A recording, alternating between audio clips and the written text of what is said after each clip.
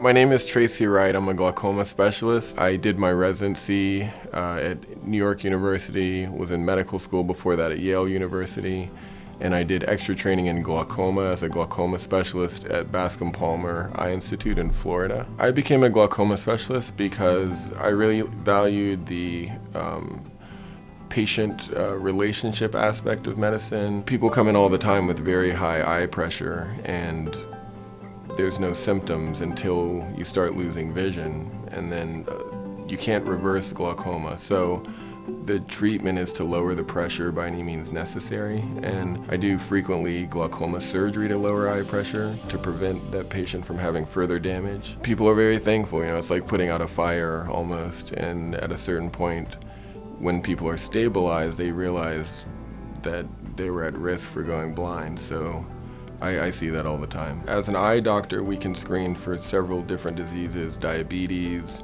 um, you know, uh, high blood pressure, issues with rheumatology. So for example, arthritis, if we see a certain eye finding, we may know that this patient's at high risk for having other disease. And, and the fact that you have those other specialists right down the hall from you um, makes it really easy to coordinate care rather than having to send out you know, if you're in a private practice, you have to make sure their insurance works, find out the right doctor to send them to where they can be accepted.